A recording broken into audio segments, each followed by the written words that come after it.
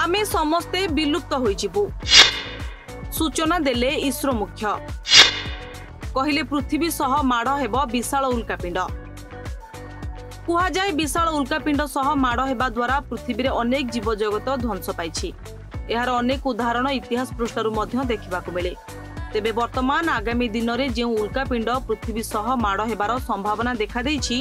ଯଦି ସେଭଳି ହୁଏ ତେବେ ସମସ୍ତ ଜୀବଜଗତ ଧ୍ୱଂସ ହୋଇଯିବ ବୋଲି ଇସ୍ରୋ ମୁଖ୍ୟ ସୂଚନା ଦେଇଛନ୍ତି ଉଣେଇଶହ ଆଠ ଜୁନ୍ ତିରିଶରେ ସାଇବେରିଆ ତୁଙ୍ଗୁସ୍କାରେ ଏକ ଆଷ୍ଟ୍ରଏଡ୍ ମାଡ଼ ହେବା କାରଣରୁ ବିଶାଳ ବିସ୍ଫୋରଣ ଦ୍ୱାରା ପ୍ରାୟ ବାଇଶଶହ ବର୍ଗ କିଲୋମିଟର ଘନ ଜଙ୍ଗଲ ନଷ୍ଟ ହୋଇଯାଇଥିଲା ଏହି କାରଣରୁ ଆଠ କୋଟି ଗଛ ନଷ୍ଟ ହୋଇଥିଲା ବର୍ତ୍ତମାନ ପୁଣି ଥରେ ସେଭଳି ଏକ ସମସ୍ୟାର ଆଭାସ ଦେଖାଦେଇଛି ପୃଥିବୀର ଖୁବ୍ ନିକଟ ଦେଇ ଗତି କରିବ ତିନିଶହ ସତୁରି ମିଟର ବ୍ୟାସରେ ଏକ ଆଷ୍ଟ୍ରଏଡ୍ ଏହା ପୃଥିବୀ ସହ ମାଡ଼ ହେବାର ସମ୍ଭାବନା ଖୁବ୍ ଅଧିକ ରହିଛି ଏବେ ଯେଉଁ ଆଷ୍ଟ୍ରଏଡ୍ ପୃଥିବୀ ନିକଟକୁ ଆସୁଛି ତାହା ତେର ଏପ୍ରିଲ ଦୁଇହଜାର ଅଣତିରିଶରେ ଖୁବ୍ ନିକଟ ଦେଇଯିବାର ସମ୍ଭାବନା ରହିଛି ଏଭଳି କୁହାଯାଉଛି ଯେ ଯେତେବେଳେ ଏହା ପୃଥିବୀ ସହ ମାଡ଼ ହେବ ବହୁ ପ୍ରଜାତି ବିଲୁପ୍ତ ହୋଇଯାଇପାରେ ଏହି କଥା ମଧ୍ୟ ଆଶଙ୍କା କରାଯାଉଛି ଯେ ଏଭଳି ଏକ ଆଷ୍ଟ୍ରଏଡ୍ ପାଇଁ ପୃଥିବୀରୁ ଡାଇନୋସର ବିଲୁପ୍ତ ହୋଇଯାଇଥିଲା ଇସ୍ରୋ ମୁଖ୍ୟ ଏ ସୋମନାଥ କହିଛନ୍ତି ଆମର ଜୀବନକାଳ ସତୁରିରୁ ଅଶୀ ବର୍ଷର ହୋଇଥାଏ ଏହି ସମୟ ଭିତରେ ଏଭଳି କୌଣସି ବିପଦ ଦେଖିନଥିବାରୁ ଏହି କଥାକୁ ବିଶ୍ୱାସ କରିନଥାଉ ଯଦି ଆପଣ ଦୁନିଆ ଓ ବ୍ରହ୍ମାଣ୍ଡର ଇତିହାସ ଦେଖିବେ ତେବେ ଗ୍ରହରେ ଆଷ୍ଟ୍ରଏଡ୍ ମାଡ଼ ହେବା ଘଟଣା ଆଗରୁ ଦେଖିବାକୁ ମିଳିଛି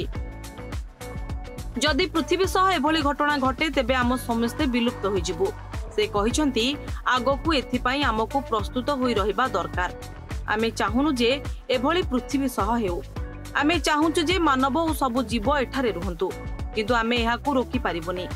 ଆମକୁ ଏହାର ବିକଳ୍ପ ଖୋଜିବାକୁ ହେବ ଏଥିପାଇଁ ଆମେ ପାଖରେ ପ୍ରଣାଳୀ ରହିଛି ଯାହାଦ୍ୱାରା ଆମେ ଏହାକୁ ଧ୍ୱଂସ କରିପାରିବୁ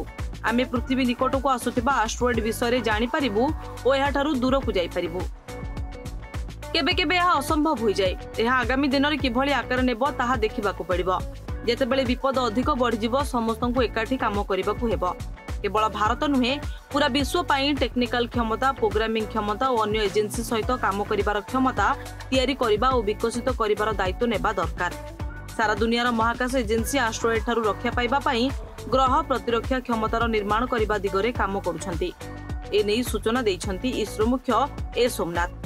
ব্যুরো রিপোর্ট রাইজিং ওড়িশা